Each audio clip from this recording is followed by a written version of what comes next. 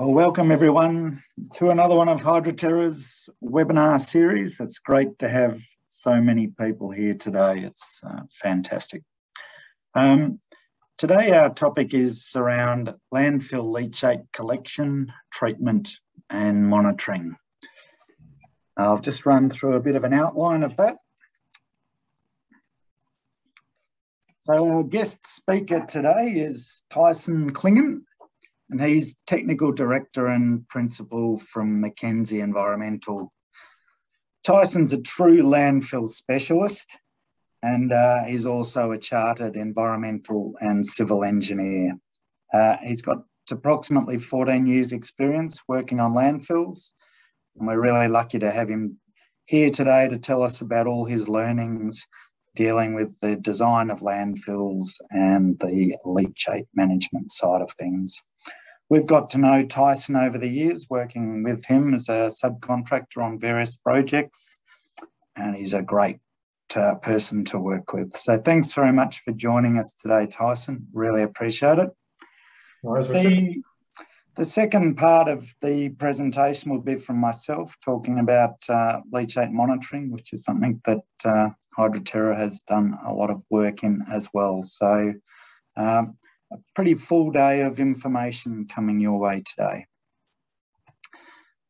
Before we charge into things, um, we love your questions and just a, a, note, thank you so much for all those early bird questions. We had, uh, we've had 10 questions already, so we'll try and leave enough time in Q&A to address those. Some of those questions will be addressed um, as uh, part of the presentation itself, um, and others will be addressed at the end. But um, please uh, log your questions as you go, so we'll, and we'll do our best to answer those. Any questions we can't get to during the session, uh, we'll get back in touch with you by email to give you some answers on those. Um, so to raise a question, use the Q&A button and type your questions in there. And at the end, I'll read them out and and I will do our best to answer them. Why does HydroTerra run these webinar series? Well, uh, we like to share knowledge and they seem to be getting more and more popular. So uh, we're really enjoying running them. Um, we also seem to have a lot of people passionate about sharing their knowledge, which is fantastic in our industry. So really enjoying being involved in this process. Um, we're also trying to facilitate education. You know, it's um, it's an area where there's probably a lack of uh, good applied training in some aspects of the sort of real world, and uh, all the people in consulting know how difficult it is to get time to pass on their knowledge. So uh, I think we're helping to facilitate passing on some of this knowledge. Um, and finally, we like to see ourselves as a bit of an industry leader in helping with linking up technologies and people's knowledge. So they're the real drivers behind why we're here today. All right, so the topic of the day. So Tyson's going to talk to us about leachate collection at modern best practice landfills, leachate collection at historical closed landfills, leachate treatment and disposal, including evaporation, nitrification, disposal to sewer. And most importantly, is going to give us some case studies of how this knowledge has been applied. I'm going to talk to you about leachate monitoring technologies, best practice application, and monitoring case studies of landfills as well. Finally, we'll do our Q&A session. So without further ado, I'd like to pass over to you, Tyson. Thanks, Richard, and thanks for everyone for uh, joining us today. So, as Richard said, I'll be talking about uh, landfill leachate collection and treatment. Um, and the collection side of things, I've broken that down into um, more modern best practice line landfills, where you have a uh, leachate collection system and then also looking at older landfills, unlined landfills, where you don't have a uh, proper leachate collection system. And there's the need to uh, retrofit and install wells, that type of thing. Uh, then we're looking at leachate treatment um, and a few common treatment methods that I've been involved in. And finally, a few case studies. So firstly, I thought I'd talk a little bit about um, why do we extract and treat leachate? Uh, well, obviously it's to protect the environment, uh, mainly the groundwater and surface water environment. Uh, and I've got a few dot points up there on, I guess, more the technical side of it, um, how that's achieved. So in a lined landfill, the reason we need to extract leachate is to minimise the head on the liner. So even the best liners leak. There's no such thing as an impermeable liner. So we need to minimise that depth of leachate above the liner to reduce that leachate seepage rate through the liner. Uh, looking at unlined landfills above groundwater, similarly, it's about reducing the leachate head to, again, minimise any seepage through the base of the landfill to groundwater. Uh, and the third point I've got there is unlined landfills below groundwater. Um, obviously, you can never completely null leachate there, but the idea is we're creating an inward hydraulic gradient to minimise the uh, flow of contaminants off-site. There's a few other reasons, obviously, why we extract leachate as well. Um, for example, to manage landfill gas, um, because we can't extract landfill gas if the landfill is flooded with leachate. Uh, next slide, thanks Richard. Okay, leachate collection at line landfills. So this aspect of uh, leachate collection is, I guess, very mature in the industry, um, very well understood. Got a lot of uh, regulation around this, and uh, most of the industry are pretty familiar with what's required. So I've got the little cross section up there on my slide uh, from the Victorian landfill best practice guidelines, otherwise known as the BEPM. Uh, I won't go into the lining system there, but above the lining system, uh, we have the leachate collection system, which typically comprises uh, a 300 mil thick layer of leachate drainage aggregate. So that's a free draining aggregate with uh, minimum fines. Network of leachate collection pipes, uh, typically polyethylene pipes that are drilled or slotted um, to collect the leachate. And that's covered by a separation geotextile. So those are the three main components in the leachate collection system to collect leachate and uh, take it off to a leachate sump. Um, the other aspect of leachate collection system design is the gradients of the liner, which sorry, I just had on the previous slide there, Richard. Um, so typically the minimum grades are 3% grade to the leachate collection pipes and, and then the pipes grading at minimum 1% to the sump. Um, so they're the minimum specified in the BEPM and it's pretty similar in most states across the country. Um, anything flatter than that and you risk the leachate head uh, building up because the flow to the sump will be slower.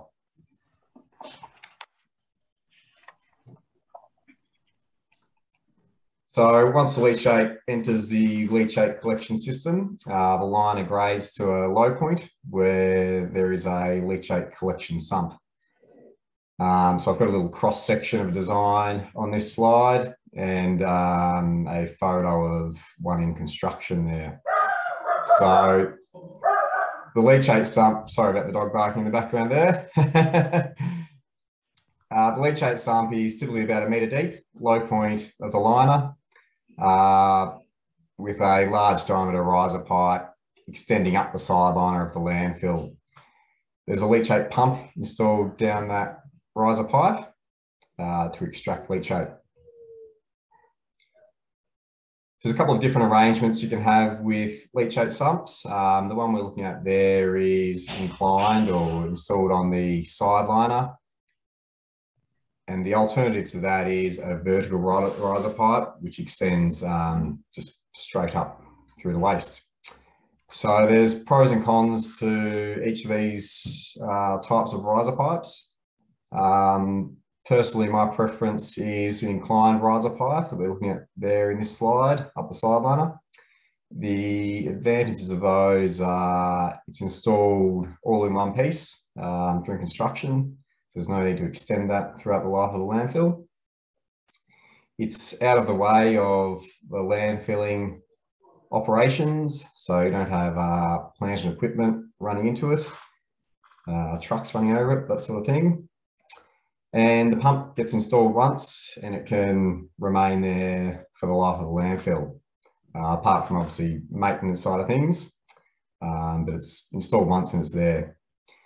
Also all the pipe work for the pumps, um, so that's compressed air to power the pump, leachate conveyance pipes, that's all installed at the top of the riser pipe and it's outside of your landfill area, so it's uh, less likely to be damaged and doesn't need to be moved during landfilling. So the alternative being the vertical riser pipe, which sticks uh, directly up um, through the waste. Sometimes they're unavoidable, uh, but they do have a few more issues in my uh, point of view. Uh, so that is they can obviously be hit and knocked around by landfilling equipment um, during waste placement. So they're busy busy sites, these landfills with uh, many, many trucks, landfill compactors, heavy equipment working around them. Uh, there's a need to extend the riser pipe with every lift of waste. So you're coming back very regularly, adding another couple of meters of pipe onto the riser pipe to extend it up as the waste is filled in the cell. And then there's a need to install and remove the leachate pump and associated pipe work each time that rise is being raised. So it's a bit more fiddly um, during landfilling. Uh, next slide. Thanks, Richard. So that's uh, a summary of leachate collection at uh, best practice landfills. As I said, it's um, pretty standard across most sites. It's well understood, well regulated, um, minimum requirements there.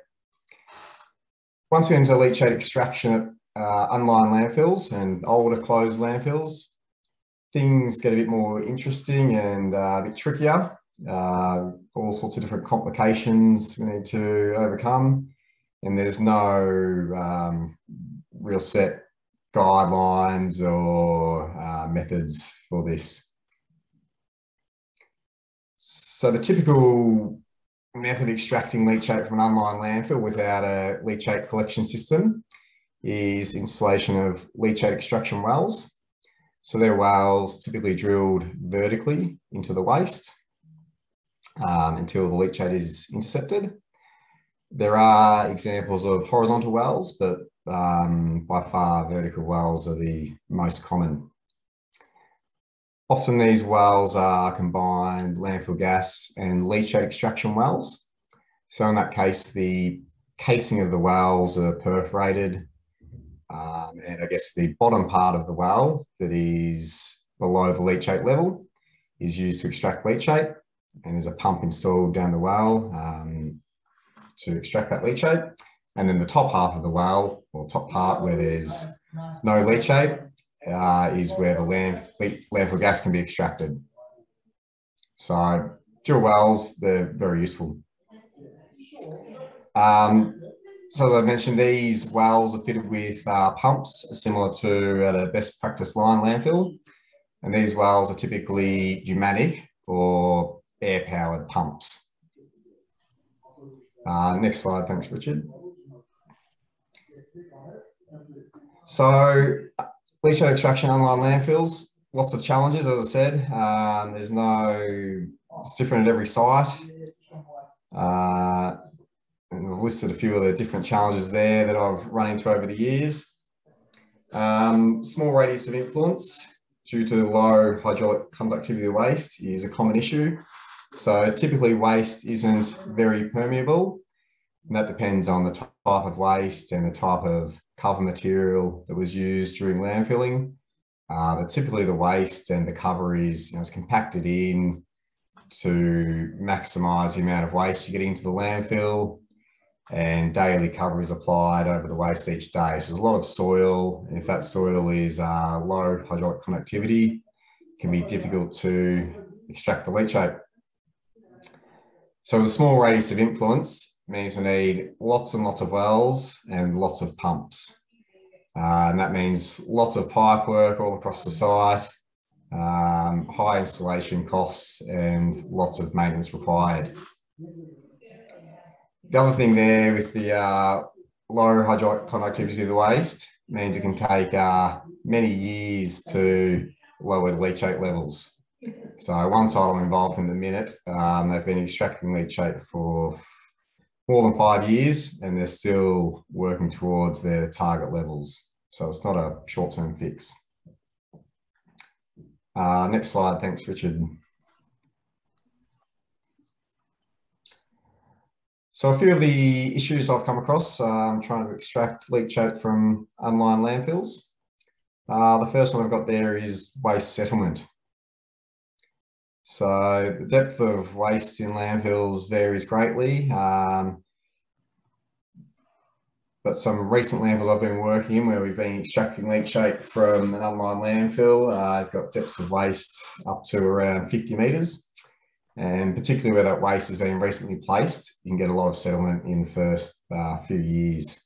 After that tends to slow down, um, but settlement will continue for decades. So the settlement can cause wells, the casing of wells to bend or kink. Um, if the, because the casing, I guess, is sort of fixed while the waste is settling down and the forces on that can cause bends. The issue we get there is pumps become stuck or the casing itself um, completely kinks and that well becomes redundant. Uh, other issues we've come across is silting of wells.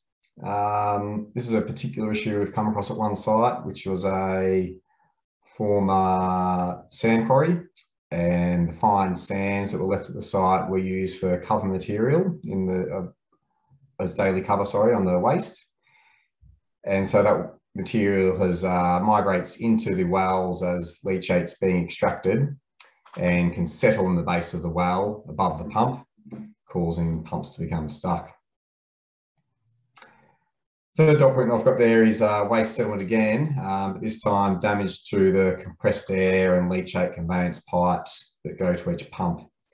So these pipes are typically installed in the capping layers of the landfill.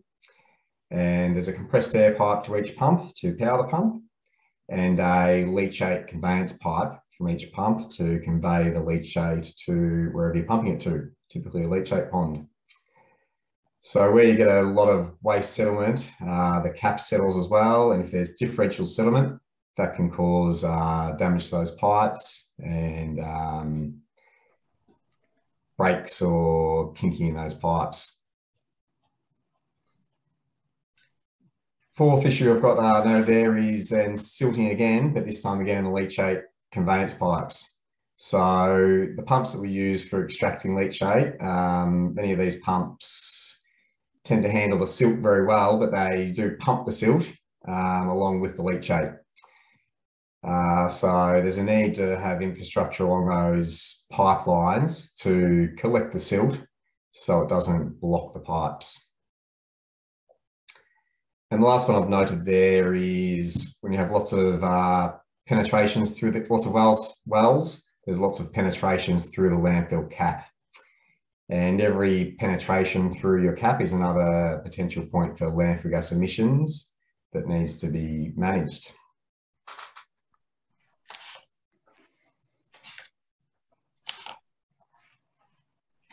Thanks, Richard. Um, next one I've got here is a case study of an unlined landfill, uh, leachate extraction.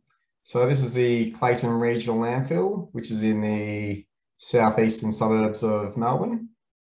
Uh, this area of Melbourne was a sand mining area, um, and most of those sand mines subsequently became landfills. So there's at least uh, 10 or more old landfills in this area. This site is a former sand quarry. It extends to more than 20 metres below the natural groundwater level. Uh, most of the northern half of this site was unlined they lined it with what they called a uh, slimes liner. Slimes being the silty, fine clay material that's left over from the sand washing um, operations when these sites were sand quarries.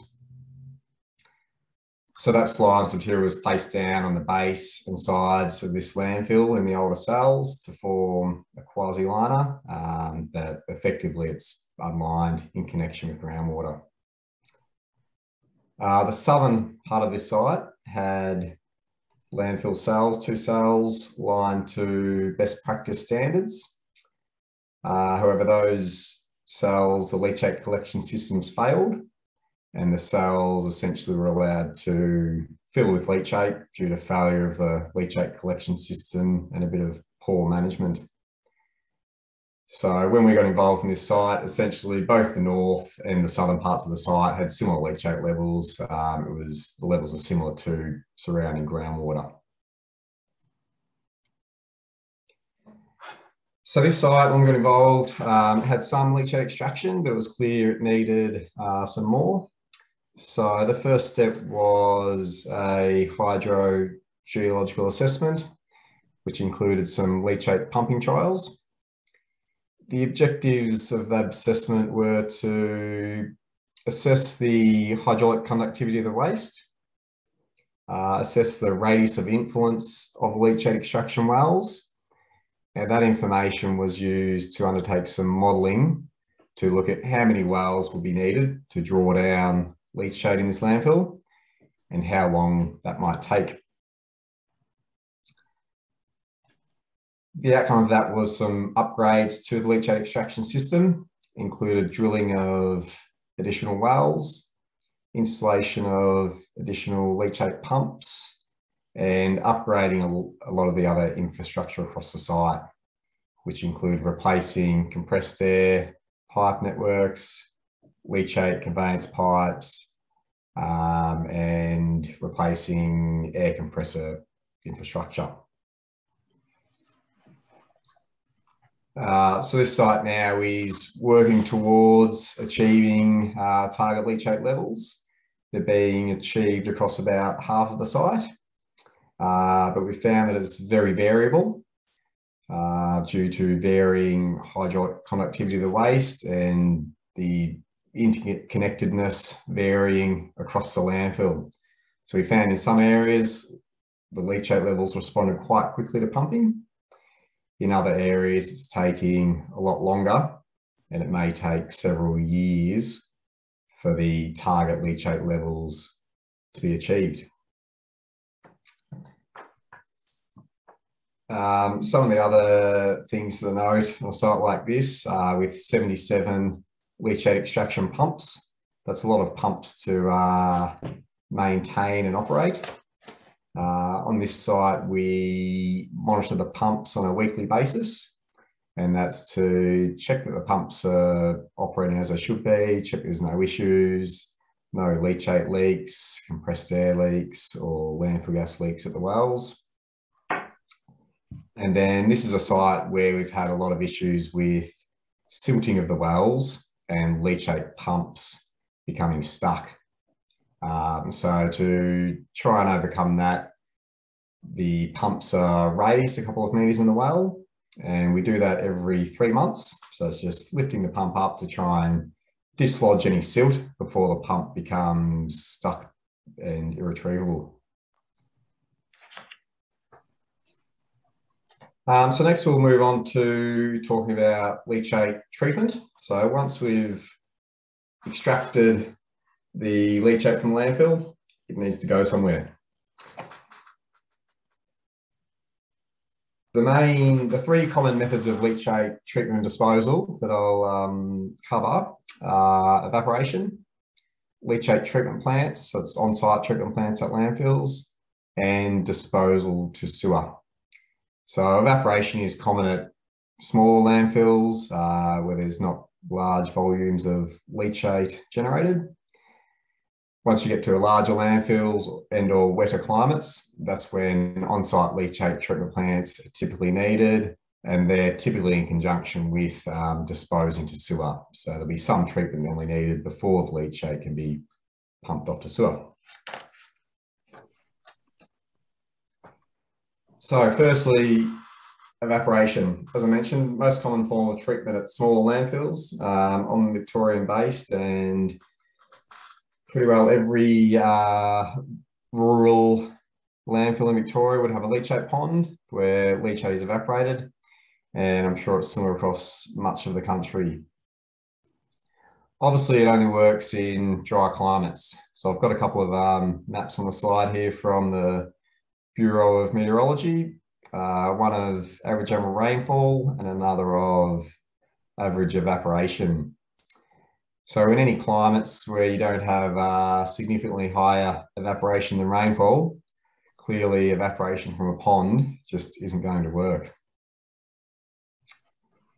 Brings me on to the third point there, uh, that it can require very large ponds. So if you're only getting a few hundred millimetres of evaporation um, in addition to the rainfall a year, then large ponds are needed. And there comes a point where larger and larger ponds uh, is just not feasible. Other options are enhanced evaporation. That's one that I don't have a lot of experience with and don't run into it a lot. Um, I have seen it used here and there at some sites, uh, but as far as I've seen, it hasn't um, taken off. Enhanced evaporation include various things, um, different types of sprayers to try and increase evaporation. Uh, there's other methods of um, heating or burning off the leachate. As I said, I haven't come across too many of those. Another common form of evaporation at some of these sites is dust suppression in the active landfill cell. So at some landfills, they'll fill up leachate in a water cart and spray that around your active landfill cell um, in the dry months. And that's one way of um, really enhancing the amount of evaporation that you can get. And then the last um, thing I'll touch on with evaporation is lack of capacity during wet periods. So as I mentioned, most of the sites I'm involved in all have uh, leachate evaporation ponds which were working great um, during dry periods. Um, over my career, when I started, we were in drought for several years. Everything was going along quite fine. And then 2010 11, it started to rain in Victoria, and suddenly everyone had a leachate problem. Um, since that time, there's been a lot of upgrades, most sites to you know, increase leachate storage and treatment capacity. And then the last thing I'll touch on there is once you run out of capacity to site, often the uh, only contingency is trucking off site. And that's something that you want to avoid at all costs because it is extremely expensive. Next one I'll talk about is on-site leachate treatment plants. So leachate treatment plants are common at larger landfills, so larger municipal landfills, and particularly in wetter climates. So leachate treatment plants are typically used to treat ammonia via nitrification and also reduce the BOD load prior to discharge to sewer. Obviously, there's a range of different contaminants and chemicals in leachate. Uh, however, the ammonia and BOD are the one, the key uh, chemicals that we're treating prior to it being disposed. So I've listed there some of the key requirements for nitrification at one of these treat treatment plants. So the first thing we need is the nitrifying bacteria. So they're the bacteria that convert ammonia into nitrite and nitrate. These bacteria are naturally occurring, they're everywhere. Um, however, typically the landfill leachate treatment plant the plant will be seeded with some bacteria from a municipal wastewater treatment plant in the form of a sludge to seed the plant to get the um, nitrification process kick-started more rapidly. The second thing we need is a source of dissolved oxygen for those bacteria. Now that's typically supplied using aerators. Uh, the most common I've come across are mechanical floating aerators. and they provide a source of oxygen. Thirdly, there is temperature. Um, so being a biological process, it's temperature dependent. Um, the temperatures quoted for nitrification, the optimum temperatures are around somewhere around 30 degrees. Uh, in my part of the world, it's the water's temperature is a lot lower than that most of the year. In summer, um, water temperatures are in the 20s, which is fine for nitrification. Winter, once you start to get down below 10 degrees, nitrification slows down significantly. So we find during winter months, um, we need more storage capacity due to the uh, decrease in treatment rate.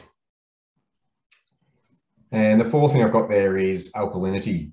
Um, the bacteria consume alkalinity in the treatment process.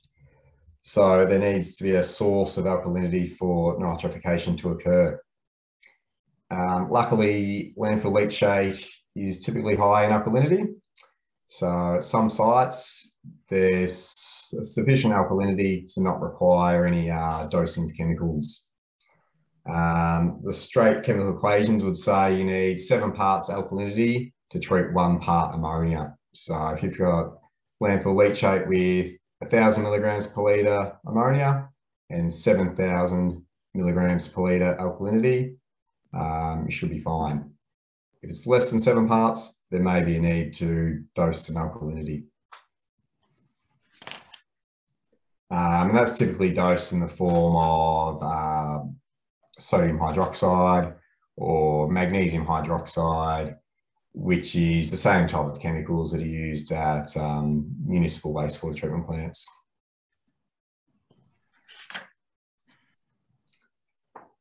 So that's a bit of a summary of the nitrification process itself um, that we typically undertake before leachate disposed to sewer.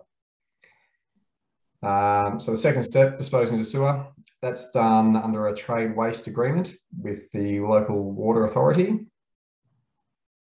Um, the water authorities will have a range of acceptance criteria. Um, it's a very long, long list of criteria, but the key for landfills are typically ammonia, inhibition, TDS load, and then potentially some other chemicals like PFAS. Um, so firstly, pH, um, easy to manage. Typically there'll be criteria of uh, something like six to 10 or pH eight to 10. That's easy to manage before discharging by dosing with either an acid or adding alkalinity uh, to get your leachate within that range. Treatment of the ammonia, we've just gone through that in a bit more detail, so I'll just skip over that. Inhibition is the next one that needs to be considered that we uh, run into as being sometimes an issue on some sites. Now, inhibition is a measure of the impact that the landfill leachate has on the wastewater treatment plant. So the municipal wastewater treatment plant that is receiving the leachate. So the laboratory actually takes a sample of um, water or sludge from that treatment plant and they run a test to see how much the leachate inhibits uh, the treatment process. The tricky thing with inhibition, it's not uh, chemical or property that's easily measured in leachate. So if you do get high inhibition, it can be tricky to understand what's actually causing that. Next one is TDS load. Uh, Again, it's one that's typically not treated at the landfills I'm involved in. Um, I'm sure there are some out there that might have, um, say, a reverse osmosis or something like that.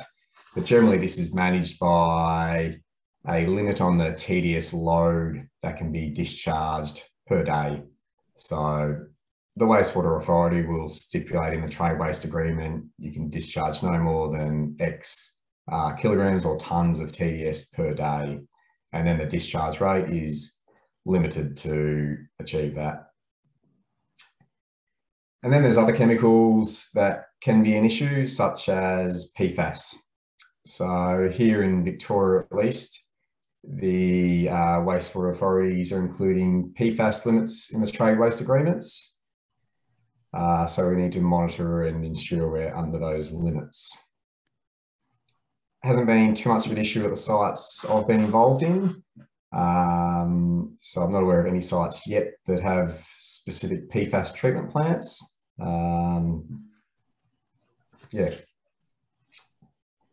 Other thing I mentioned there is um, the discharge process. So there's two common types of process, a continuous discharge or a batch discharge.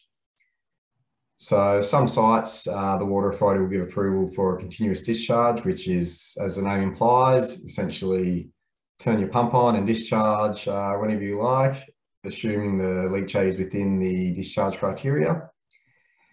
The second option, the batch discharge, is the one we come across the most. And in that, with that method, the Water Authority requires every treated batch of leachate to be tested in the laboratory and approved by the authority before it's discharged. Um, typically that requires uh, locking of the pond. So all valves in and out of the pond will be locked and they can't be unlocked and the pump turned on until the water authority is given approval. And then there's a sampling and approval process uh, to allow that batch discharge to occur. So typically that involves sampling of the treated leachate under the supervision of a representative from the Water Authority, um, and then assessment of those results, sending them off to the Water Authority for approval.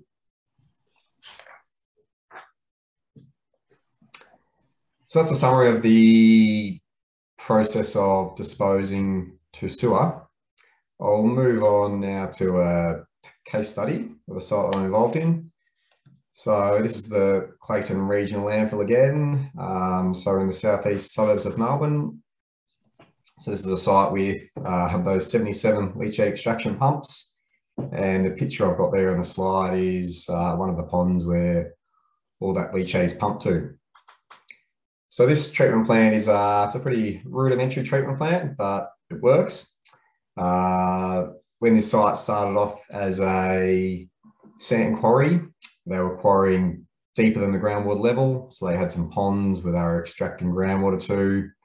Over the years, as it became a landfill, they lined the ponds and slowly it was upgraded and upgraded until it became its current form where it's essentially a leachate treatment plant. So there was never an initial design as such, it's just evolved over the years. So this is a three pond treatment system. Uh, the untreated leachate that comes into the ponds has an ammonia concentration around 2000 milligrams per litre. So it's uh, at the upper end of the concentration that we see in untreated landfill leachate. The ammonia discharge criteria for this site is less than 200 milligrams per litre. So this site needs to treat it from yeah, 2000 down to less than 200 at the moment, this site is treating around 15 megalitres per year. Uh, so that's about 10 of those ponds that we're looking at there. So the main, the method of treatment at this site is nitrification. So the process sort of just talked through. Um, the way that is achieved is the ponds have been seeded with a biomass from a municipal wastewater treatment plant. The ponds are fitted with aerators and they're mechanical floating aerators that you can see there in the photo. Uh, there's regular monitoring of the water properties, so things like um, pH and testing for ammonia concentrations, etc., to monitor the process. That's all done manually at this site. None of that's automated. Uh, we do find at this site we need to add alkalinity to achieve the ammonia discharge criteria, and that's added in the form of magnesium hydroxide. Um, and then the treated leachate from this site is discharged to sewer and heads off to the um, Southeast Treatment Plant in Melbourne.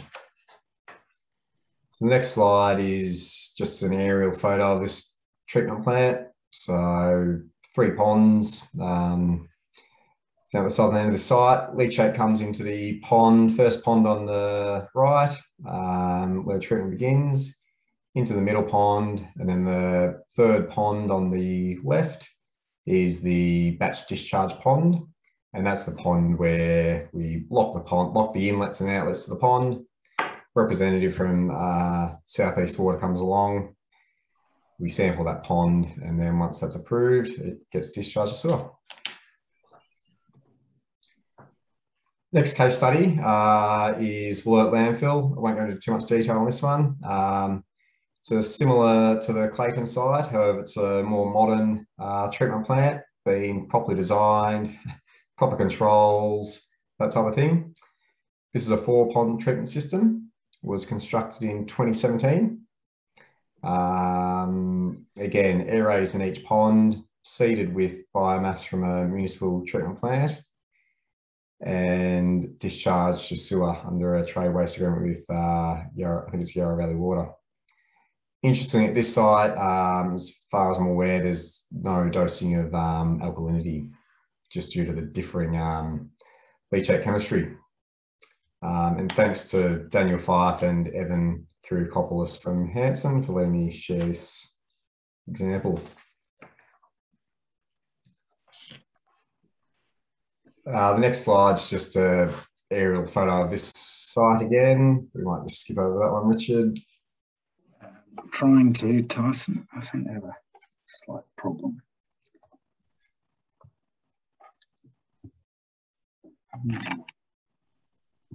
Slide stuck.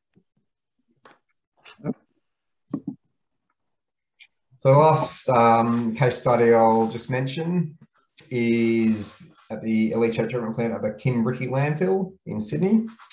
Um, this one is a sequencing batch reactor. So type of treatment plant that you get more in um, a wastewater treatment industry. Uh, works on the same principles as the previous plant. So it's nitrification, but being a batch reactor, it's um, can be controlled far more closely, um, which means it can treat a greater volume of leachate. So this was constructed in 2018 and it treats an average of 335 kilolitres per day. So that's um, a couple of megalitres a week or 100 megalitres a year. Uh, I understand at this site, the untreated leachate ammonia concentration is a bit lower. It's around uh, 300 milligrams per litre and they're treating it to less than 100 milligrams. Um, however, I understand they generally get down to about one milligram per litre. So that's just another example of a type of treatment plant that's out there. Um, and thanks to Stuart Dever at Kimbriki for sharing that one. That's it for me, Richard. Tyson, that was fantastic. Thank you very much. Um, over to monitoring. Um, so it's really two sorts of monitoring that go hand in hand and there's a bit of an overlap between them. So you've got your compliance monitoring side of things and that's um, really driven by the regulator and you've in Victoria in particular have got an approved monitoring plan that's tied in with an audit process and that that's got a frequency of monitoring. It's got the parameters laid down that you need uh, to measure, and it's certainly got um, plenty of clarity in what's required in it. The second side of things, the operational monitoring, is it's a bit more ad hoc, varies completely between sites, and it's really tied in with well, how does management see their going to, to manage their leachate and what information do they need for that. My perspective on the world is that both those uh, types of monitoring really need to be brought together. Uh, you get a lot of good intelligence um, from the operational monitoring on potential causes of things that you see in your compliance monitoring. Trouble with compliance monitoring is it's sort of typically looked at at the end of the year. And uh, whereas your operational monitoring is uh, sometimes collected daily, uh, often weekly. And, and so you've got a much better chance of managing your site and reducing environmental impacts uh, with a good operational monitoring regime. So what do we actually measure? Oh, in the world of um, leachate, there's a few different parts of the site, and you've heard a lot from Tyson and seen a lot of them, um, some great case studies. Uh, where HydroTerra gets involved is measuring uh, how much leachate is moving around those various systems and where's it stored and uh, is there too much in one area or in another. So just looking at this landfill, for example, uh, you know, there's a leachate pond. Tyson showed us some good pictures of those. Things we need to measure there are things like the amount of freeboard, which is the amount of space left in the dam before it overtops. And there's um, regulated amount of freeboard that one needs to manage to allow for, you know, problems where there might have been an accident and you need to have a bit of a buffer so you don't have leachate flowing down the side of a hill.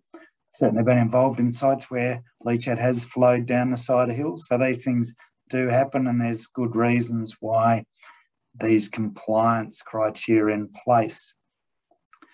Um, monitoring leachate within the cell itself and the elevation of that is often a, a source of some woe for people. Um, why? Well, often it hasn't been thought about back in the old days, and uh, there's sometimes a bit hard to get the infrastructure down there to really monitor them. And drilling through waste is a pretty challenging thing to do. You can get mattress springs and things curled around traditional augers. So it becomes an expensive exercise to drill holes into waste. So it's challenging. Uh, what you heard from Tyson was um, he likes incline sumps and we do work installing sensors in incline sumps. I've got a couple of pictures of some installs in those. Uh, you need to do a little bit of trigonometry when you're um, deploying pressure transducers to work out how to tie that uh, elevation back to a con- common datum of like meters Australian height datum, for example. Uh, vertical sumps, um, in a way, are a bit easier for monitoring because you don't have to do the trigonometry, but they tend to have all sorts of grief associated with the fact that they're not straight up and down. Like a lot of these have got concrete rises and that sort of thing. And uh, as I think Tyson mentioned, as the as the waste consolidates, uh, those um, you can get some pretty weird angles on what's a sort of vertical um, sump. So interesting challenges associated with that. Stormwater ponds is an important one, and uh, you know they're managed on site too. You've got to keep really try and keep stormwater away from leachate on these sites. So if the stormwater ponds overflow, you can create an even bigger headache for yourself. So we like to monitor stormwater levels as well.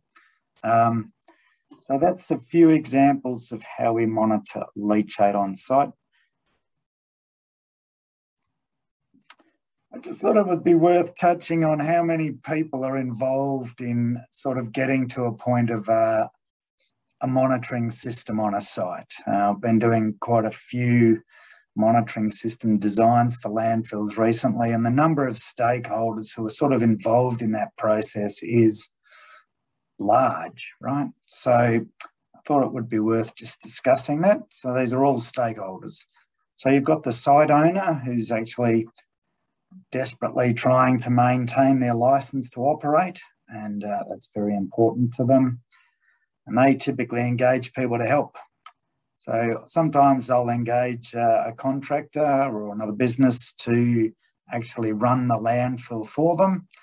And those two parties, the site operator and the site owner, are very much joined at the hip. They need to keep this place running and they need to keep it compliant. So they need to bring in a bunch of people to help. And uh, You've heard from one today in Tyson. You know, these are these engineering consultants who actually design the, the systems, they design the cells. Um, sometimes I wish they'd remember to design some access tubes for us to put our various monitoring equipment in. Um, but it's certainly, uh, they do a lot of good documentation and, and put that together.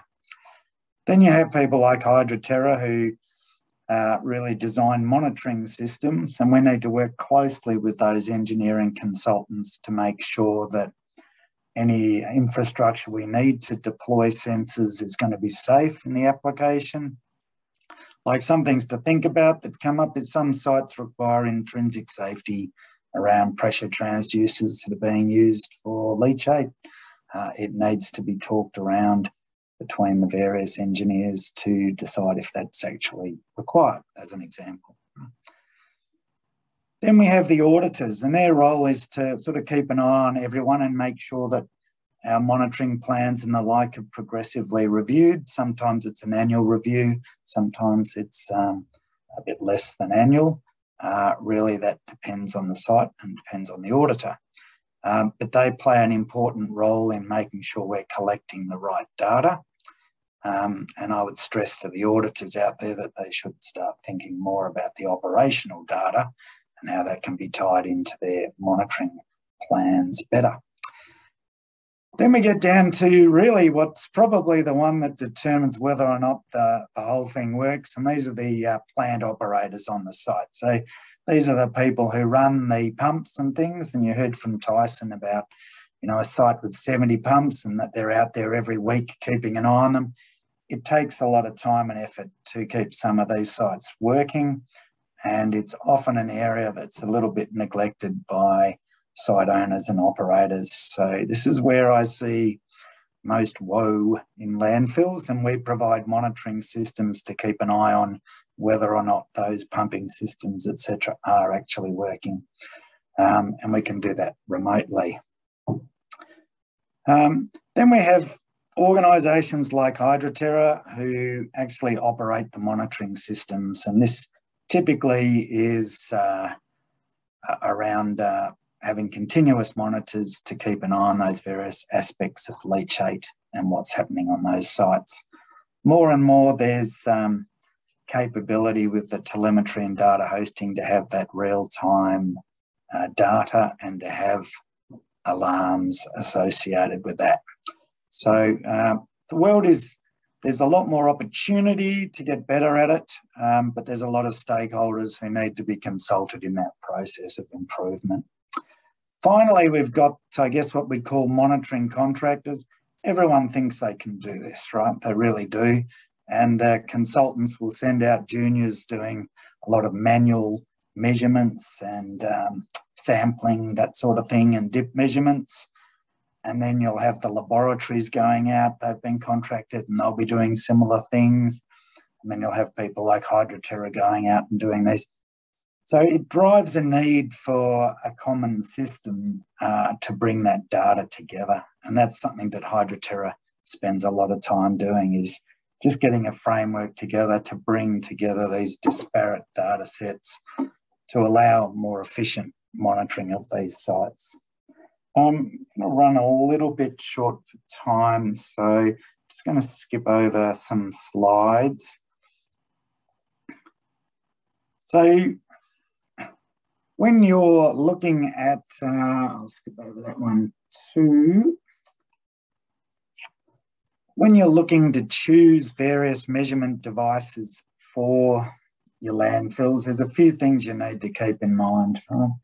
You've got to keep in mind what you really need to measure and its frequency. Sometimes people get obsessed with measuring stuff that actually never gets used. Like a lot of monitoring data just never gets applied. So try and work against that human instinct uh, to get to, okay, how are you actually going to use a parameter?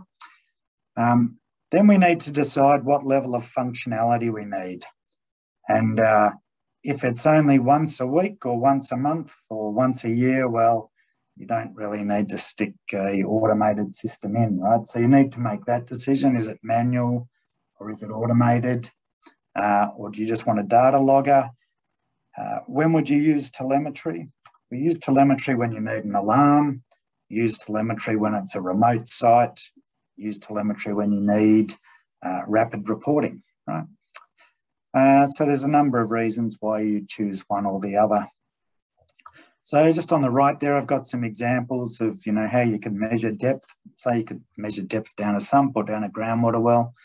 You can use a water level meter there with just a tape and a, a dipper on it, and it goes beep when it hits the, the depth, and you read the depth off the tape that's on it. Uh, then the one below that, they're data logging pressure transducers. You set up and program them to measure at a frequency of level measurement and you come and manually download those. Or if you want to hook those same things up, you can hook them up to telemetry and have that data beamed back to your office.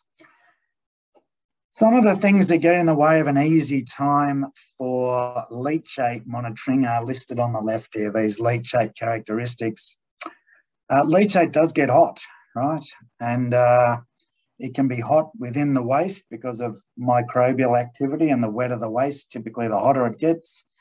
But the second one, which um, I've discovered on a recent project, is leachate can get hot in the leachate lines because quite often they run across the surface of the caps and they get hot. Those pipes absorb the heat, and you can see a sort of diurnal fluctuation uh, in the, the temperature and that affects things like the pressure in the lines because it's not just uh, leachate in the lines, there's also gas, and gas is expandable. So it was quite interesting to see that as a potential impact on how we measure such things. Um, as we heard from Tyson, we use these microbes to uh, treat leachate, but they're also a problem. They clog up instrumentation. So you've got to be a bit careful what sort of instrumentation you choose it's very easy to have them working very well at the start and clogged up at the end and not able to work. So sometimes it's good to find a contactless way to measure.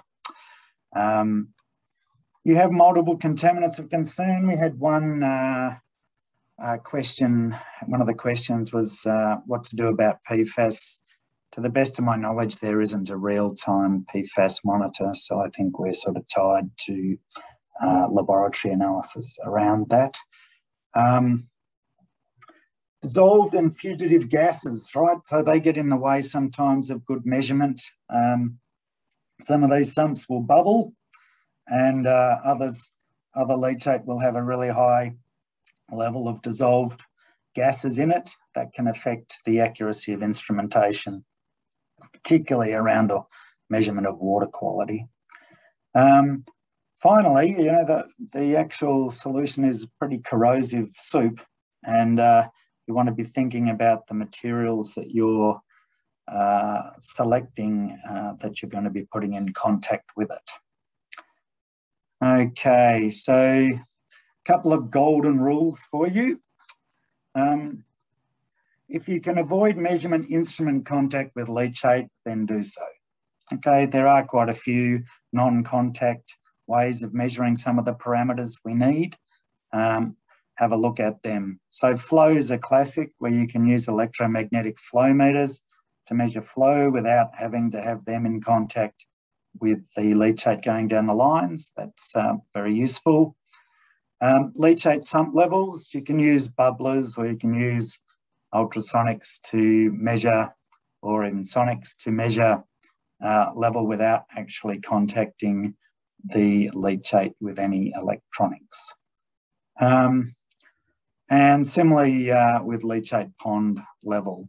I've got visual there. Sometimes all you need to do is have a gauging board and manually write down a level. Sometimes that's enough, right? Other times it needs to be automated.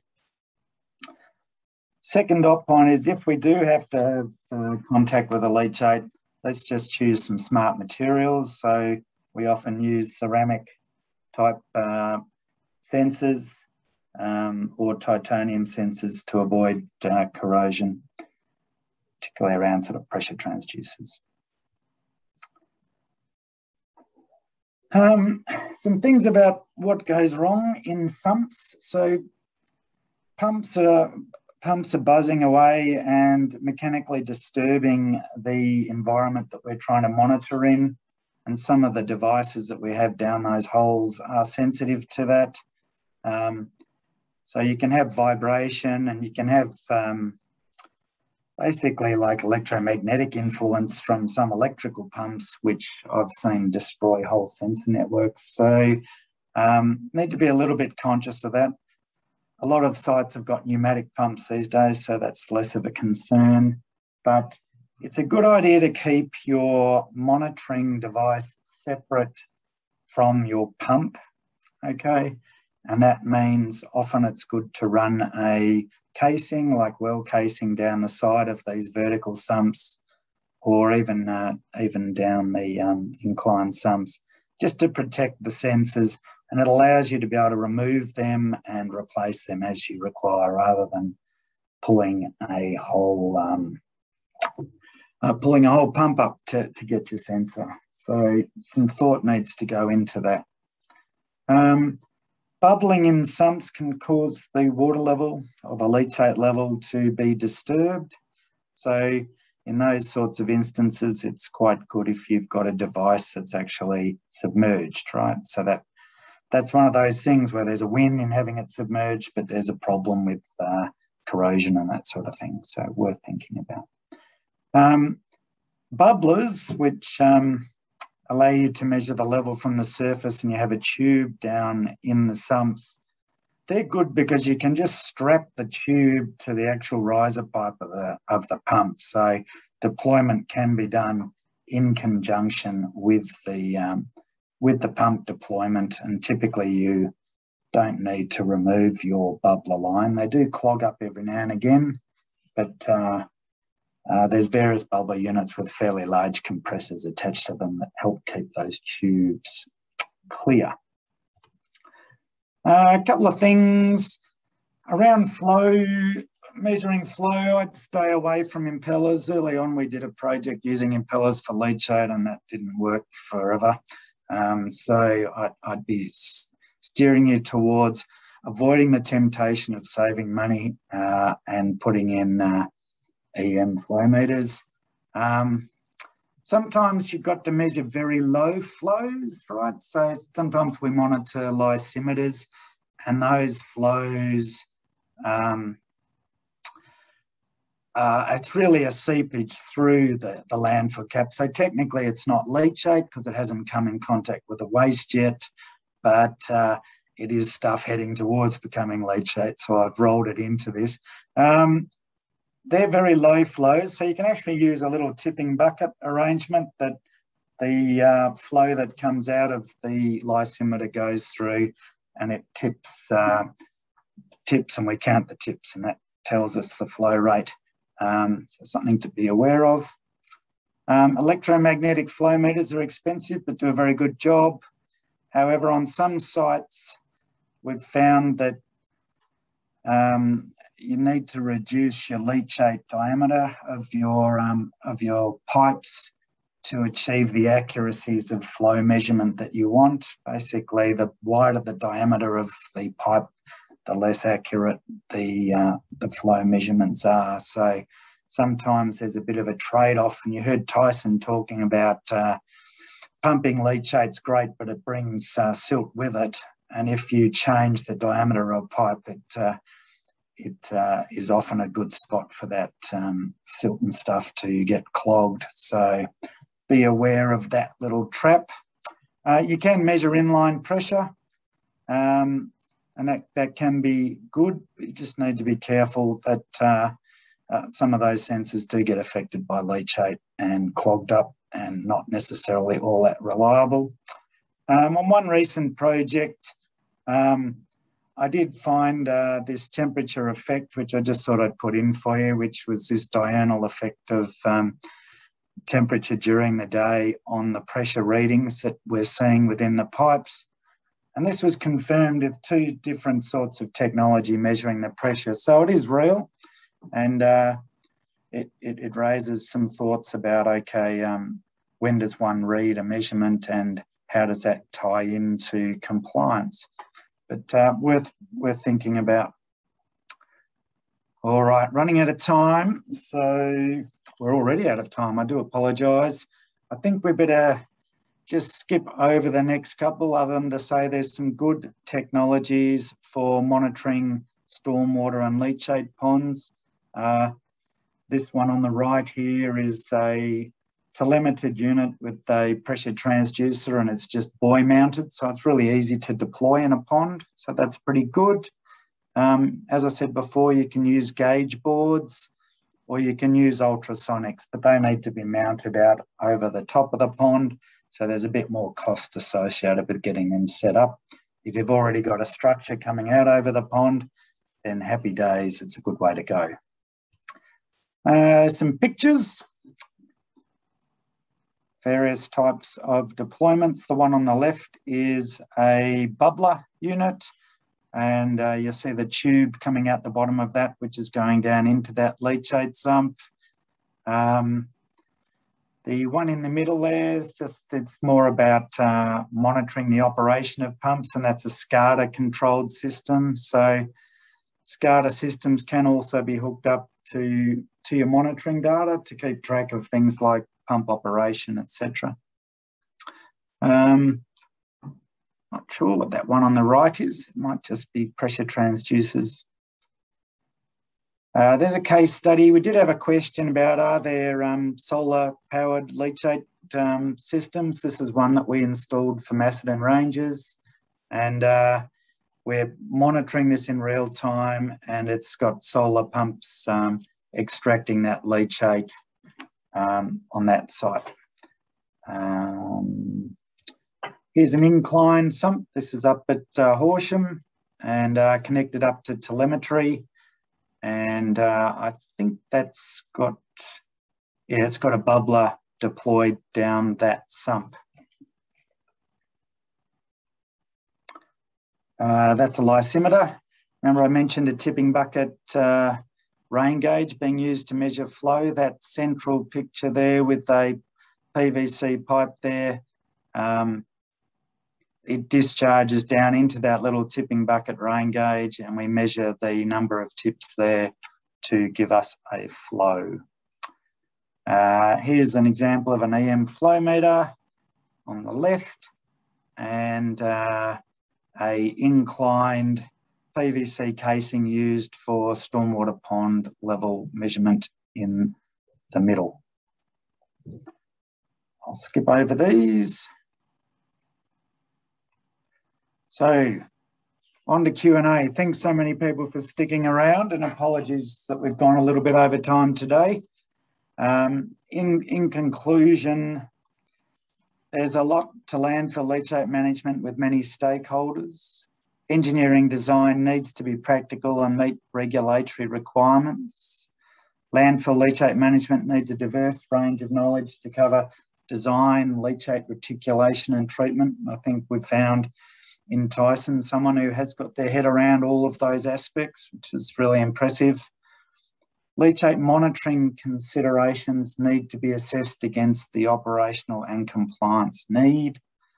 Leachate and electronics don't always get along, so deployment methods and technology selection are important, and that's where HydroTerra is here to help. Now, just see if Tyson and myself have addressed the early bird questions.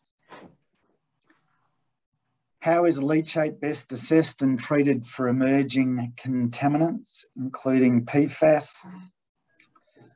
I would have said it's best assessed by grabbing samples for laboratory analysis. Uh, it's not going to be sort of continuous sensors in the short term. Uh, Tyson, do you agree with that? Or yeah, I agree with that. That's the only real option is lab testing. Um, and then on the treatment side, uh, I'm not aware of any sites that have treatment for PFAS or such, but it is possible there may be sites out there. In terms of the next one, uh, I mentioned briefly about solar, but uh, can you think of other standalone options that you've seen where uh, they don't have mains power and they're needing to extract leachate? Um, solar's the only one I can think of. Uh, the only other option is some sites are designed, particularly older valley style landfills. So leachate drains via gravity from the landfill into a pond. Um, common on older landfills. Yeah, I've been impressed with some sites where they do achieve effectively leachate transfer with no pumps, um, just using that drainage. Um, best practice in management of leachate construction well collapse due to waste settlement. Okay, so that's a problem you raised. Um, what do you think you should um, do to fix that one, Tyson? There's no way of getting around it. The few things you can do are making sure your wells are made of suitable um, class of pipe. So generally pretty thick walled pipe. Um, make sure that you know it's a good installation, nice straight wells, these sort of things. So if they're not straight to start with, you're only going to um, make things worse. Another one I'll mention is um, avoid stockpiling large amounts of soil on your cap because it uh, preloads it and makes it settle more and makes these things worse. I think you covered the next one. Um, oh, sorry, uh, I skipped one. Any tips on recording accurate standing leachate levels in wide sumps? Uh, look, yeah, I think I mentioned them though. Look, putting a casing down the side of a sump is a good idea um, for a few reasons. So that's that's one way of dealing with that. Um, common issues encountered with leachate collection systems and risers. I think Tyson's uh, presentation covered that one, as did the one about best practice liners. Um, here's a good one. When can environmental monitoring be stopped for legacy landfills? It's, uh, it's an interesting question. In Victoria, it's sort of tied in with um, an auditor's program of review. Um, but Tyson, I'd be interested in further, if you've got further take on that. How long is a piece of string? um, the the best practice guidelines in Victoria refer to a period of about 30 years, um, but really we don't know. um, I think what we do know is that over time, the amount of monitoring, the number of bores, frequency of monitoring can be reduced as the risk profile of the site reduces. But when you completely stop, it's going to vary site by site. That's a good answer. So the next one, what have you found to be the most beneficial drilling method to access and collect leachate?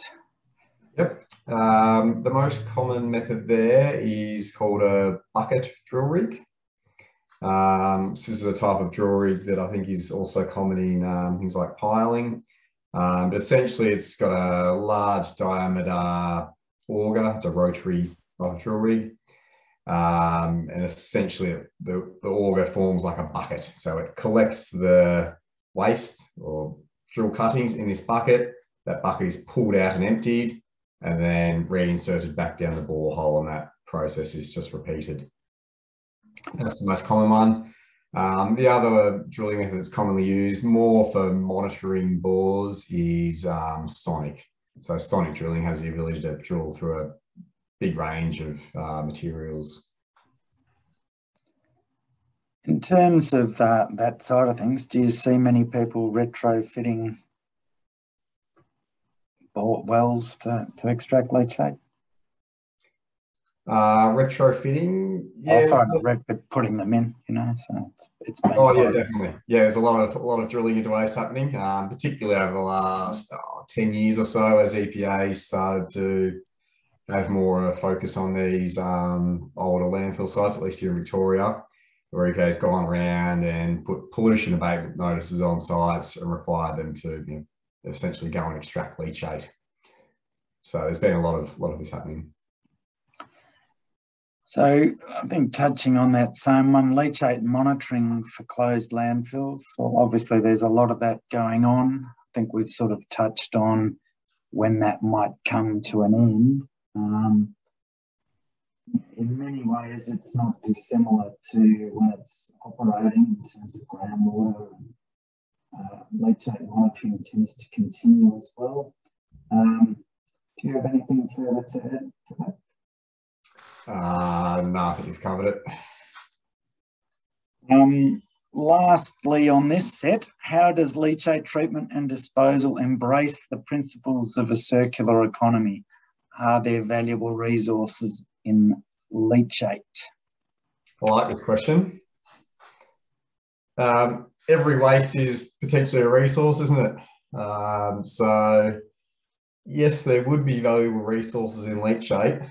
I guess the issue is it's full of all different contaminants, and how do you separate that out? So, you know, leachate is a lot of it's essentially fertilizer. You've got lots of nitrogen in there, um, but that comes along with the salt and the metals and the PFAS.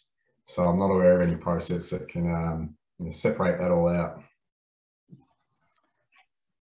I guess using it for dust suppression is one yep. benefit.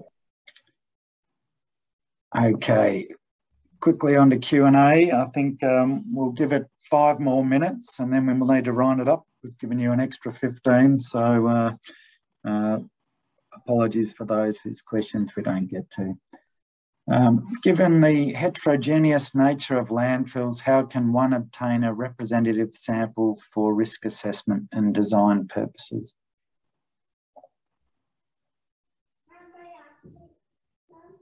Do you want me to answer that one, Richard? Yeah, definitely.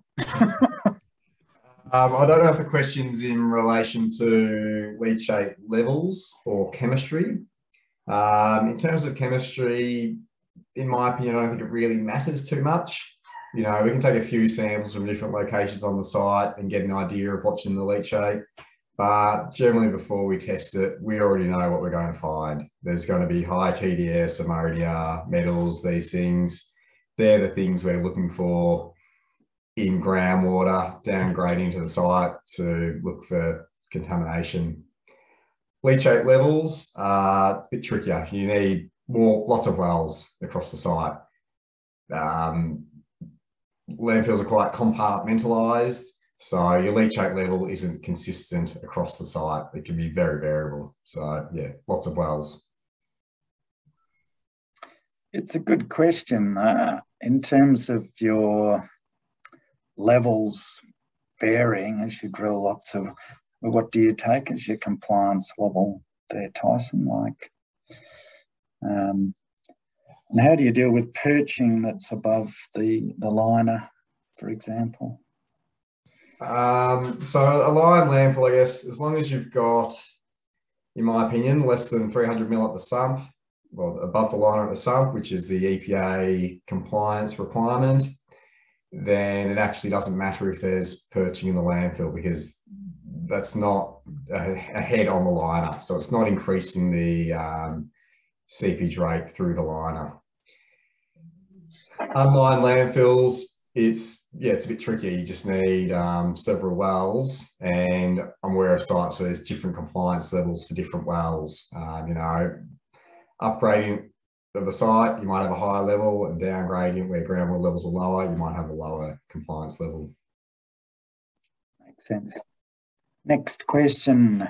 Regarding leachate, is there any kind of rule of thumb about the proportion of leachate which is generated by waste breaking down versus infiltration of stormwater? I'm wondering if leachate management can include upgrading landfill caps to reduce infiltration e.g. increasing evapotranspiration, planting of phytocap, etc., or perhaps infiltration isn't a significant part of leachate. I, I can talk to that one. Um, so phytocaps uh, are a, uh, a, great invention that were very popular sort of, uh, I reckon nearly uh, sort of 18 years ago or so. And we used to do a lot of modelling of theoretical um, evapotranspiration that could be uh, achieved and we would design the thickness of the landfill caps to, to sort of act as a sponge to accommodate infiltration and, and, was based on daily sort of time step modelling, um, unsaturated zone modelling. So in theory they work well, but in practice, what we've found is that maintaining vegetation has been the challenge, and um, it's the vegetation that's the key to success of phytocaps. And uh, really, it probably comes down to some of um, Tyson's pictures there of the rainfall distribution in Australia, and okay, how how easy is it to actually maintain that um, a vegetation layer.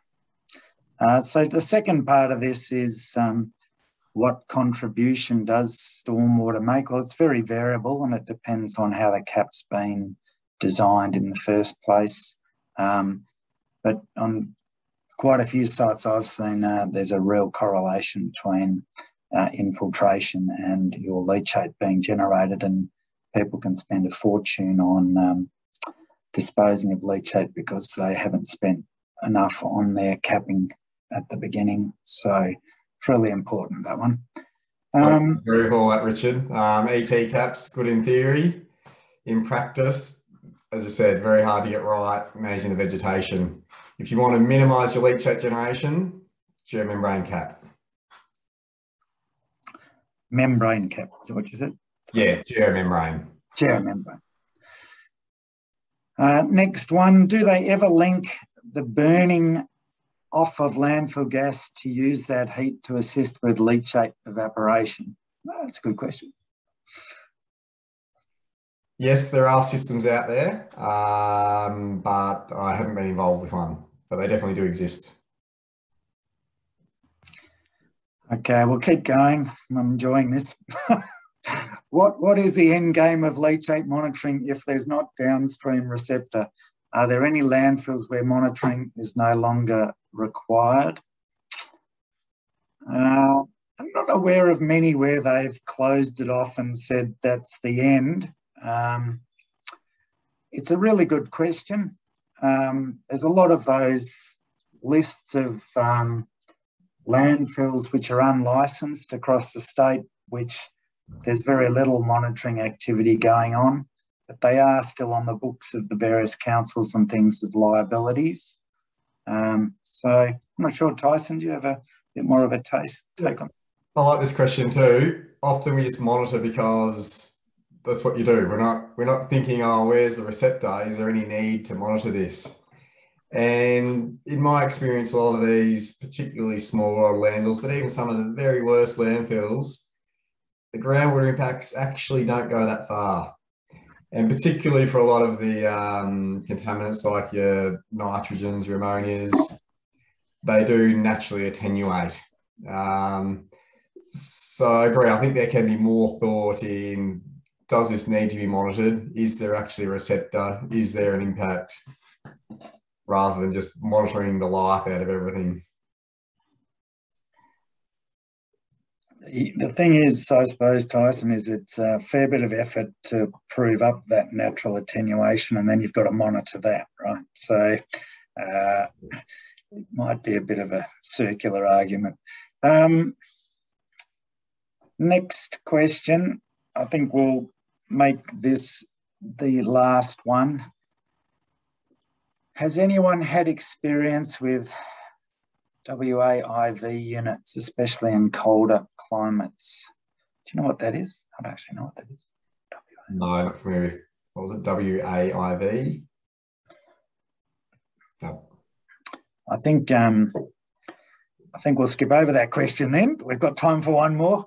Uh, any example of site using leachate re-injection system? Yes, uh, been involved with one that's uh, been recirculating leachate for many years. Um, not sure how popular it is anymore, the recirculation of leachate though. Um, I'm thinking of Wollert as recirculation. Yeah, that's a um, key one in Victoria at least that's done it on a more formal basis. Um, there's plenty of other sites that have done it sort of less formally. Uh, but yeah, what we call that when leachate's re-injected is a bioreactor landfill. And really the theory of a bioreactor is to speed up the breakdown of waste. So you actually speed up your waste breakdown, your generation of gas is sped up. So in theory, you're getting to that end point when you can stop managing and monitoring this landfill faster. That's the theory behind it. Um, there are lots of considerations for a bioreactor, such as you've got higher temperatures, which reduces the life of the geomembrane in your liner, uh, things like that. And we found at these sites like Wollert, you can't just keep pumping around in circles. You will need to extract some leachate. All right. Look, I think we better call it a day. Tyson will email the uh, answers through to the remaining questions. Um, many thanks to everyone uh, for attending and great to see so many people still online now. So it's tremendous to have such a good audience. And uh, a big thank you to you, Tyson. That was really informative and, uh, and really impressive knowledge there. So thanks very much. No problem. Thanks for the opportunity.